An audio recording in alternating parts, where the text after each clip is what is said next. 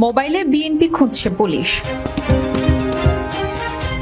রাজনৈতিক দলগুলোর সমাবেশকে কেন্দ্র করে ঢাকার প্রায় সব সড়কে চেকপোস্ট বসিয়ে আমাদের অফিসকে কীভাবে ভাঙচুর করা হয়েছে সেখান থেকে আমাদের শত শত নেতাকর্মীকে গ্রেফতার করা হয়েছে। আসসালামু আলাইকুম ভিউয়ার্স দেশ ও দেশের বাহির থেকে যারা আমার ভিডিওটি প্লে করেছেন জানাচ্ছি আন্তরিক শুভেচ্ছা অভিনন্দন। আশা করি সবাই ভালো আছেন সুস্থ আছেন আলহামদুলিল্লাহ। তো ভিউয়ার্স বাংলাদেশ একটি স্বাধীন দেশ।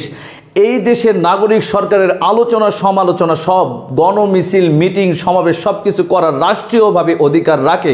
আর সেখানে আজ বিএনপির ঢাকায় এক দফা আন্দোলনে বিএনপির সদস্যরা যখন সেখানে অংশগ্রহণ করতে যাচ্ছিলেন, বিভিন্ন বাস থেকে মানুষের ফোনের ভিতরেও যদি বিএনপির কোনো ছবি বা কোনো আলামত পেয়েছে, তাদেরকে গ্রেফতার করে নিয়ে যাচ্ছে পুলিশ। এটা কি আমাদের বাংলাদেশ? এইটার জন্য কি স্বাধীন করেছিল শেখ মুজিব? তো এই বিষয় নিয়ে বিস্তারিত তথ্য থাকছে এই ভিডিওতে। সো ভিডিওতে যাওয়ার আগে ছোট রিকোয়েস্ট করব, যারা এখনও চ্যানেলটি সাবস্ক্রাইব করেননি, নিয়মিত দেশের সকল আপডেট খবর সবার আগে পেতে অবশ্যই চ্যানেলটি সাবস্ক্রাইব করে পাশে রাখবেন। তো ভিউয়ার্স আসুন স্ক্রিনে রাজনৈতিক দলগুলোর সমাবেশকে কেন্দ্র করে ঢাকার প্রায় সব সড়কে চেকপোস্ট বসিয়ে গণপরিবহন, যাত্রী ও সন্দেহভাজন পথচারীদের তল্লাশি করছে পুলিশ। অনেকেরই মোবাইল ফোন চেক করতে দেখা যাচ্ছে। পরিচয় প্রকাশে অনিচ্ছুক এক যাত্রী গাবতলী থেকে গণমাধ্যমকে জানান, মোবাইল চেকের সময় তাকে জিজ্ঞেস করা হয়েছে, তিনি বিএনপির সমাবেশে যাচ্ছেন কিনা। বিএনপির কোনো নেতার সঙ্গে কথা হয়েছে কিনা ও মোবাইলে বিএনপির কোনো ছবি আছে কিনা। অন্য যাত্রীদের অভিযোগ, দীর্ঘ সময় ধরে পুলিশের তল্লাশির কারণে সড়কের ঢাকামুখী লেনে তীব্র যানজটের সৃষ্টি হয়েছে। চেকপোস্টের কারণে দীর্ঘ সময় তাদের যানজটে আটকে থাকতে হচ্ছে। দেখা গেছে, ঢাকা আরিচা মহাসড়কের রাজধানীর প্রবেশ মুখ সাভারের বালিয়াপুর থেকে আমিনবাজার বাস স্ট্যান্ড পর্যন্ত ঢাকাগামী লেনে পরিবহনগুলো যানজটে আটকে আছে। আমিনবাজার বাস স্ট্যান্ড সংলগ্ন এলাকায় সাভার মডেল থানা ও আমিনবাজার পুলিশ ফাঁড়ির সদস্যরা বাসের যাত্রী, সন্দেহভাজন পথচারীদের তল্লাশি করছেন। এদিকে যানজটে আটকে বিরক্ত হয়ে অনেক যাত্রীকে পায়ে হেঁটে আমিনবাজার এলাকা পার হতে দেখা গেছে। এদিকে গাবতলী আমিনবাজারে দীর্ঘ সময় ধরে পুলিশের তল্লাশির কারণে ভোগান্তিতে পড়েছেন যাত্রীরা। গাবতলী থেকে একাধিক যাত্রী জানান, তারা সকালে মহাখালীর উদ্দেশ্যে রওনা দিয়েছে। বাস সাভারের আমিনবাজার এলাকায় পৌঁছালে কয়েকজন পুলিশ সদস্য বাসটি আটকে দেয়। সব যাত্রীকে বাস থেকে নেমে যেতে বলা হয়। একাধিক শিক্ষার্থী জানান, তারা আমিনবাজার পুলিশের চেকপোস্টে আটকে ছিলেন। দুপুর দুটায় তাদের পরীক্ষা ছিল। কোনো উপায় না পেয়ে শেষমেশ তারা বাস থেকে নেমে হাঁটা শুরু করে। পুলিশের হয়রানির কারণে তাদের পরীক্ষা কেন্দ্রে পৌঁছাতে দেরি হয়েছে বলে অভিযোগ করেন। নাগরিকদের জীবনকে বাধাগ্রস্ত করা এটা মেনে নেওয়া যায় না হতাশা প্রকাশ করেন তারা। তো বাংলাদেশের নাগরিক আমরা তো ভোটার। ভাই ভোগান্তিতে আর প্রতিক্রিয়া কি হবে বলে হাইটে আসছি আমি। আমি তিন কিলো রাস্তা হাইটে আসছি গাবতলি পর্যন্ত। এখন আমার অফিসে যাইতে হবে বারোটায় অফিস। এটা প্রতিক্রিয়া কি হইতে পারে? আপনি বোঝেন।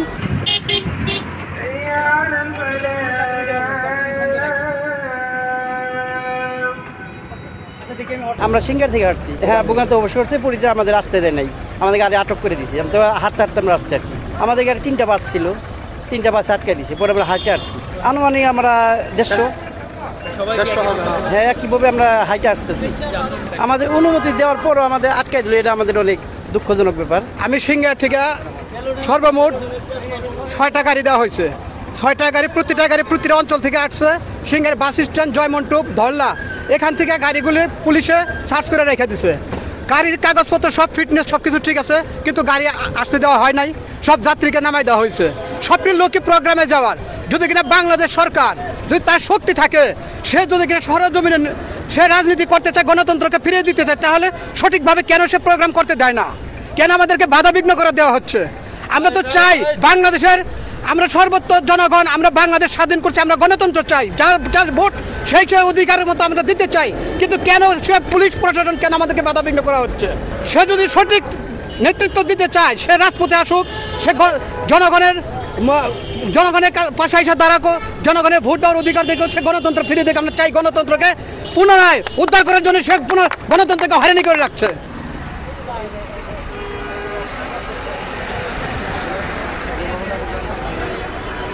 আমি তো যাইতেছি ঢাকা বনশ্রী মাদ্রাসা।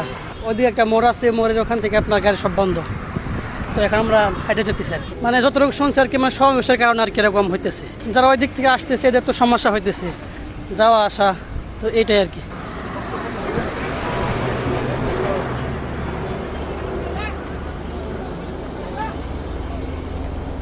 মিন বাজার আওয়ামী লীগের কিছু লোক এখানে অনেক গাড়ি আটকায়া পুলিশ সাথে সহ গাড়ি আটকায় আমাদেরকে হয়রানি করে আমাদেরকে হারায় নেওয়া হচ্ছে।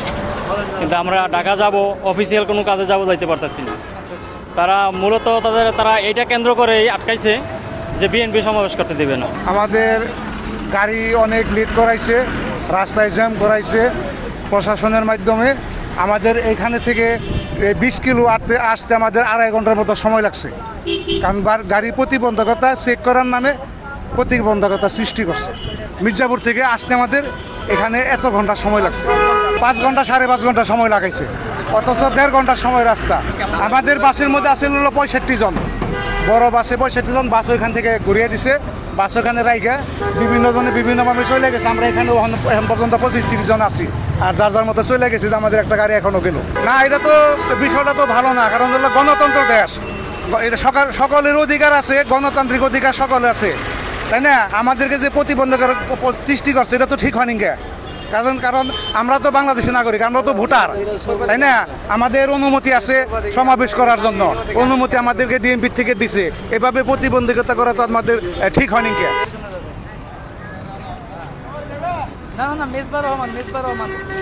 আমি হচ্ছে সেই নবীনগর থেকে আসছি। নবীনগর বেলতলা থেকে। ওইখান থেকে নবীনগর আসছি হেঁটে। সেই ইসলামপুর পর্যন্ত যাম নবীনগর গাড়ি আটকে দিছে, গাড়ি না। আচ্ছা তারপর নবীনগর হেঁটে এসে একটা গাড়ি পাইছি। গাড়িতে আসছি হচ্ছে আপনার এই যে সালেহপুর ব্রিজের ওইদিকে আরও ওই যে একটা হাউজিং আছে ওই পর্যন্ত। ওইখান থেকে আবার হেঁটে এই যে গাবতলি আসলাম। পুরাটা আটকে রাখছে, শুধু শুধু আটকে রাখছে। কেন আটকে রাখছে? ভাই, জানি না, মানুষের চরম দুর্ভোগ ভাই, ভোগান্তিতে আর প্রতিক্রিয়া কি হবে বলেন? হাইটে আসছি আমি। আমি তিন কিলো রাস্তা হাইটে আসছি গাবতলি পর্যন্ত। এখন আমার অফিসে যাইতে হবে, বারোটায় অফিস এটা প্রতিক্রিয়া কি হতে পারে? আপনি বোঝেন।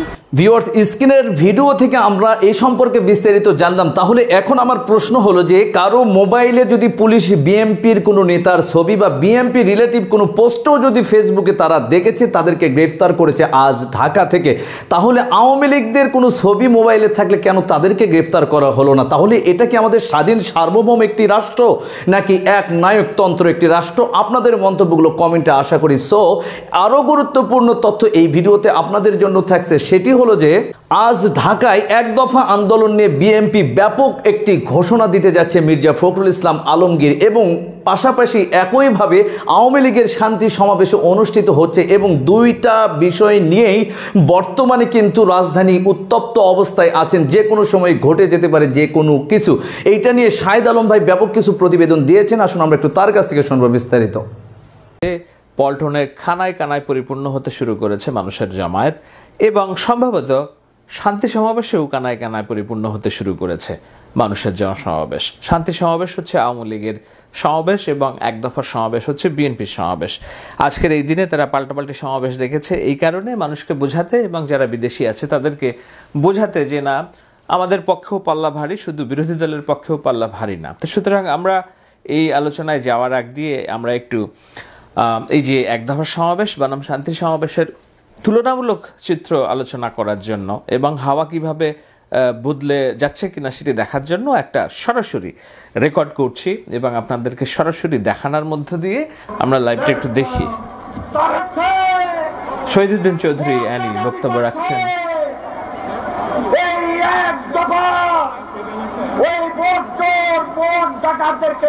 করবে। ছেচল্লিশ হাজার নয়শো, অর্থাৎ প্রায় সাতচল্লিশ হাজার মানুষ সরাসরি দেখছেন এই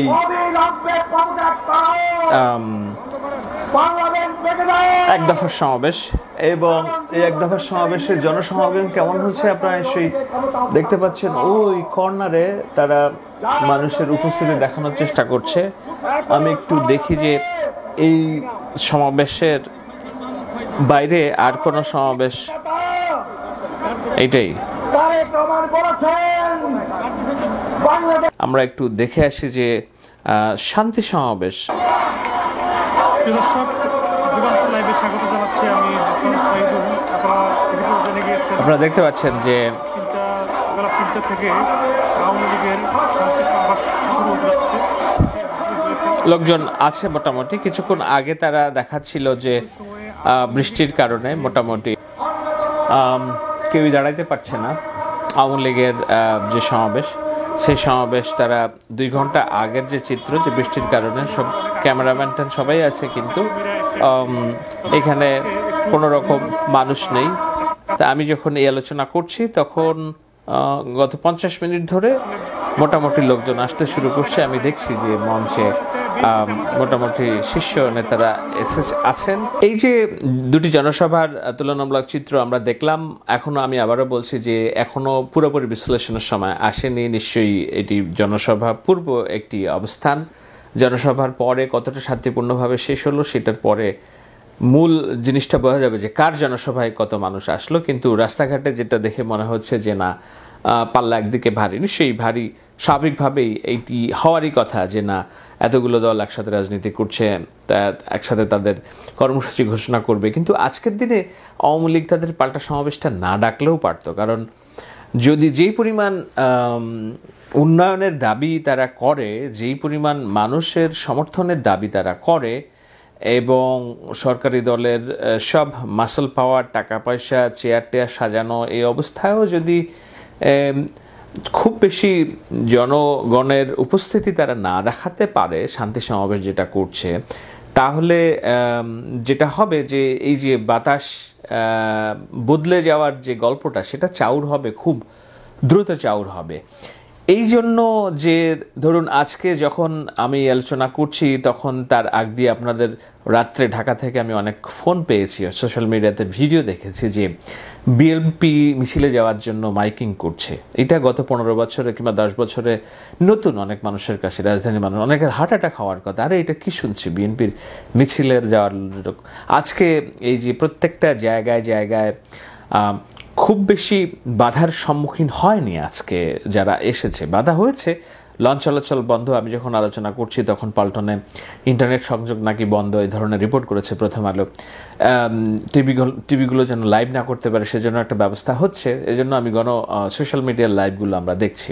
সুতরাং এত বাধা এবং এটা সত্ত্বেও এইসব মানুষ এসেছে এবং বাধা এর আগে যেভাবে দেওয়া হয়েছিল, আজকে আমার মনে হয় না দশ ভাগের এক ভাগ বাধাও প্রশাসন দিতে পেরেছে। কারণ দিতে পারেনি, কারণ আজকে বাধাটা দেওয়া তাদের জন্য সমীচীন হবে না এবং আজকে এই যে বাধা ছাড়াই মানুষ রাস্তায় একবার নামার যে স্বাদ যদি পেয়ে যায়, এটা হলো অনেকটা হাতির দাঁতের মতো। হাতির দাঁত বের হয়ে গেলে আর এটা ঢেকে রাখা খুব মুশকিল হয়ে যায়। কিংবা ওই যে আলাদিনের চেরাগের দত্তের মতো, একবার যদি শিশি থেকে বের হয়ে যায়, তার আর ভিতরে ঢোকানো যায় না। তো বাতাসটা হচ্ছে, মানুষের পারসেপশন হচ্ছে এরকম। একবার যদি পারসেপশন বদলে শিশু থেকে বের হয়ে যায় যে না, হাওয়া এইদিকে ভারী, এইদিকে মানুষের স্রোত বেশি এবং বৃষ্টির কারণে আরেকদিকে মানুষের স্রোত কম, অর্থাৎ বৃষ্টি একটা ফারাক তুলে দিতে পারে। এটা দিয়েছে দুইটি দলের জনসমর্থনের মধ্যে।